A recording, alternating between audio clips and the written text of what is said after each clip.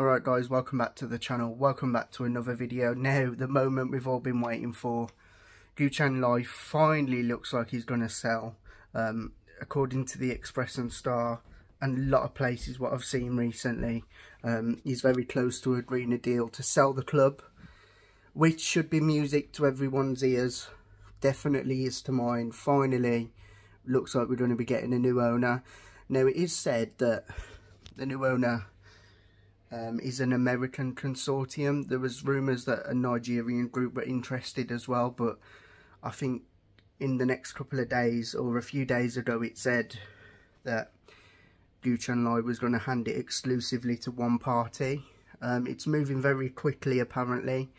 Um, and like I say, it's just really, really good news. I, I heard it was Clark Hunt and Patrick Mahomes, a quarterback for somewhere if it's true, then it's kind of similar to what Birmingham are doing at the minute with Tom Brady.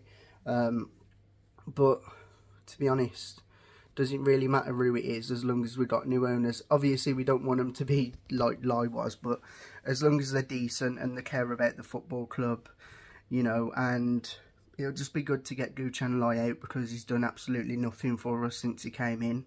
And a lot of pressure has been put on him um, through all these protests and stuff. People may not think they're working, but they're more effective than people actually think. Um, as you can see, because he, I think he was interested in selling quite a while back. So I just want to place on record of thanks to Ali Jones and Action for Albion. You know, everyone who's a part of that group because they have helped this. Um, they have helped, to be fair you can't deny that. And even even if they didn't help, which, like I said, I'm 99% sure they have, then they were the only guys who were doing something about it. So, got nothing but respect for Ali Jones and the rest of Action for Albion. But it does look like it's going to be done very soon. Apparently, the club are keen to get this done before January or in January. I can't remember which one, but either way, it's absolutely fantastic news and the way we've been playing at the moment it's just getting better and better for us at the minute. Corberan's doing a fantastic job and it'd be good for him to get owners who actually back him and who, who actually care.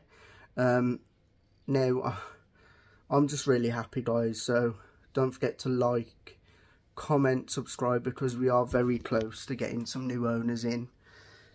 Delighted to be honest. I really really am relieved that this saga is going to be finally over. You know, from a, we were all excited when Lai took over. He brought everyone a free beer. And then after that, he's done absolutely nothing. So, good riddance to him.